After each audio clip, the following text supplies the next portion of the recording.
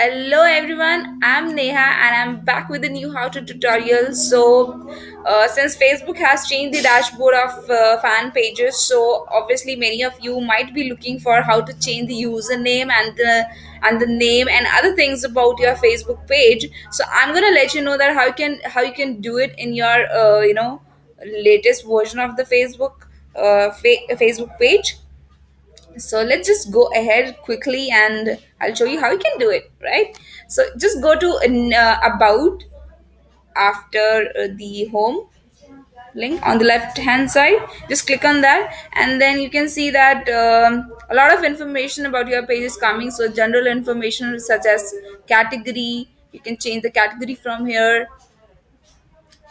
And after that you can also change the name of the uh, your page so do do read about the do and do's and the don'ts about changing the name of your Facebook page, and then click on um, changing the username. Also, you can also update your username from here.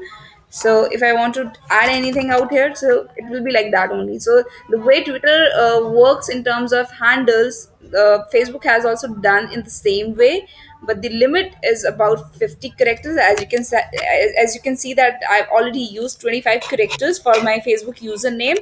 So, but the lim- uh, the twitter's uh, username is quite limited in terms of characters but facebook has given you that much of liberty to use a longer username for your facebook page so that's how you can change your username, name, and category for your Facebook page in 2017 version. So thanks for watching my video. I hope you liked it. Do subscribe my channel and stay tuned for more updates. Thank you so much.